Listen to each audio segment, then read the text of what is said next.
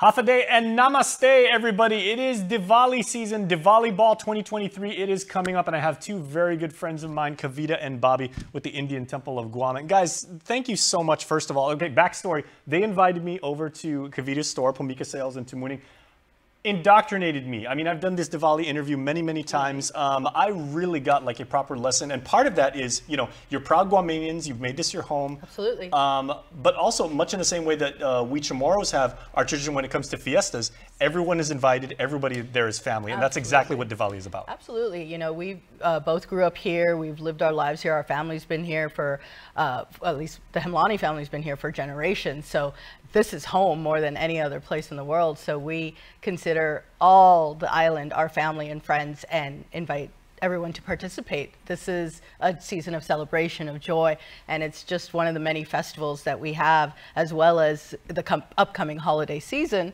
So we can all celebrate together. Mm-hmm. Now, Bobby, of course, Diwali being the Indian festival of light, it symbolizes so many things. You know, the triumph of light over darkness, of yes. you know, of uh, of justice and everything. So uh, tell us about the cultural significance of Diwali and you know why the local community is allowed to celebrate with you. Well, ultimately, Diwali is a festival of lights, and it, it uh, we invite we're inviting everybody to celebrate this occasion, and it's uh, it's it brings in the the opportunity to to come together as a family, do our prayers, and start new beginnings, um, and even uh, cherish the ones that we've had before in the past. And this Diwali, especially after what we've recently gone through as a community with Mawar, I think more than ever, it's uh, the best opportune time to come together once again. Mm-hmm. And if no one out there has ever participated in a Diwali festival, the Diwali Ball is coming up. Yes. Um, it's going to be at the Hyatt. Yes, next Friday, November 10th at the Hyatt, and we're inviting everyone to check out our website, which is guamindians.com slash Diwali and get your tickets and join us for the celebration. Okay, and there's so many parallels between a Diwali celebration and again what we have here, like here on Guam, because it's about family,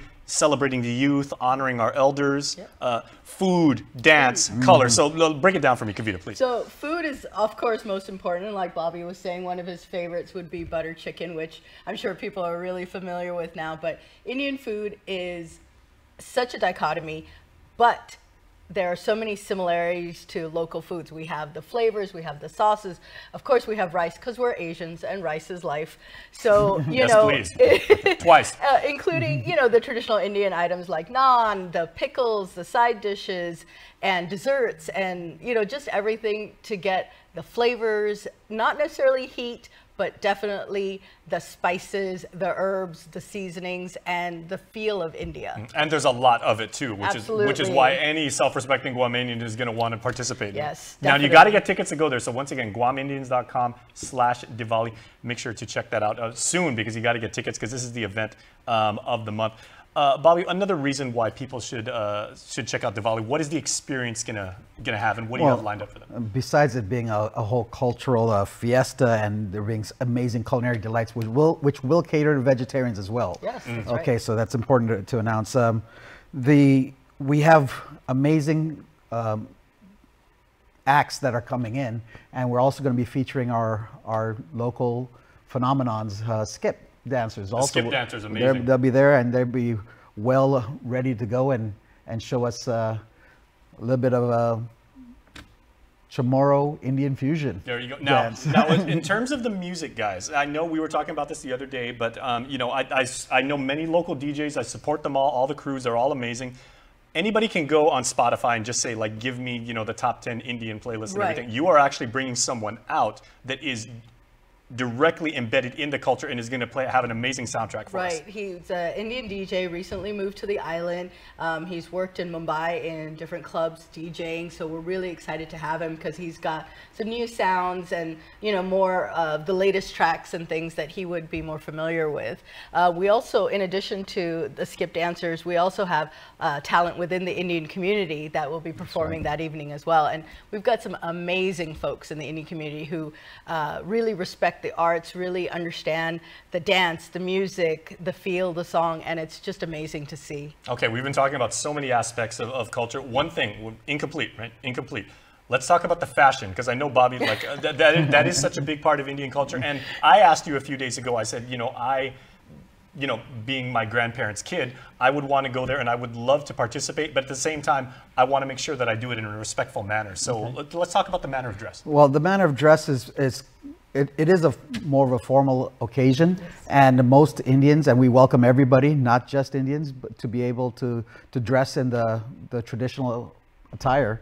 Uh, which for men is uh, can be a, like a kurta and pajama, which is like a long um, tunic uh, of, an, of, a, of a dress. Incredibly and, comfortable too. Yeah, it is extremely comfortable and enough room to, to do all your dance moves as well. There you go. And then w- with the with the ladies, they're they're wearing saris and uh, or kurta pajamas also, and um, salwar is what they what I refer to. But uh, it's uh, it's amazing. It comes with a, lots of colors and and you know just beyond the the colors itself, it's there's a lot of uh, bling, should I say, added to a, to a lot of this. Kavita, if, if you would, because I was asking you again yes. the other day about the accessories, and Des- Destiny in the back is going crazy about this. So how can we how can we accessorize? So you know, accessories. Indians love bright. We love big. We you know, not subtle. So we want it. Those are quite lovely. We want it big. Um, this is a festival. It's a celebration. So we show that in our manner of dress in our accessories. So everyone brings out